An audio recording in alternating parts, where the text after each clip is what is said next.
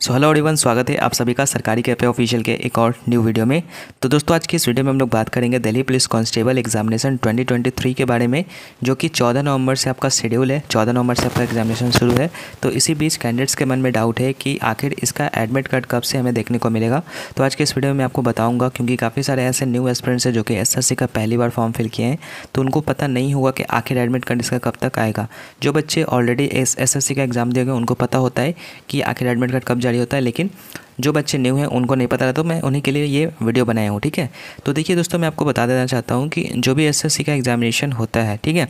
तो examination date आपका, जैसे कि चौदह नवंबर को आपका है, यानी चौदह नवंबर से आपका एग्ज़ाम शुरू हो रहा है।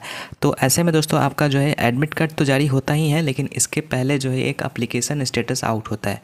अप्लीकेशन स्टेटस में आपको ये पता रहता है कि जो आपने फॉर्म फिल किया है फ्रेंड्स वो आपका फॉर्म एक्सेप्ट हुआ है कि नहीं। अगर एक्सेप्ट नहीं हुआ है तो आपका जो है फॉर्म रिजेक्टेड लिख देता है। उसके बाद से आपका एडमिट कार्ड नहीं आता है, ठीक है? उसके बाद आप कुछ भी नहीं कर सकते हैं। नेक्स्ट टाइम फिर आपको वेट करना पड़ेगा। लेकिन जिनका एक्सेप्ट होता है फ्रेंड्स उसमें डिटेल कुछ दिखाया रहता है कि आपका एग्जामिनेशन जो है किस डेट को है। क्योंकि देखिए, जो दिल्ली पुलिस कॉन्स्टेबल का एग्जामिनेशन है फ्रेंड्स वो एक दिन नहीं होता है। ये लगभग कुछ दिनों तक चलता है। तो इसी बीच मतलब ये आपका जो है एग्जामिनेशन जो है आपका चौदह नवंबर से शुरू है।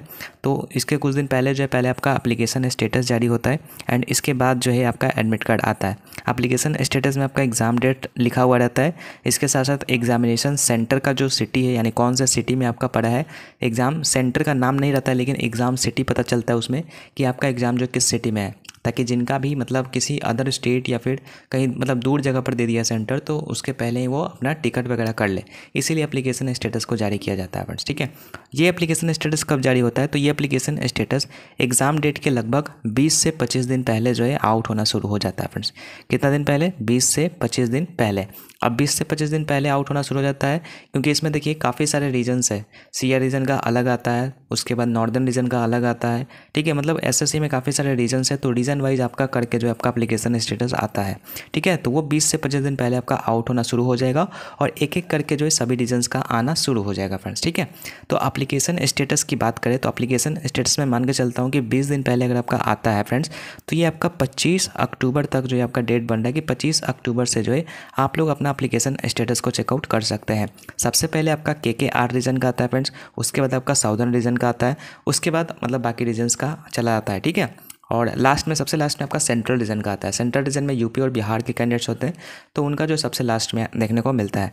तो ये मतलब मैंने आपको बता दिया कि सबसे पहले आपका अपलीकेशन स्टेटस आएगा, जो कि आपका एग्ज़ाम के ठीक बीस दिन पहले आएगा, जो कि आपका चौदह नवंबर को एग्ज़ाम है।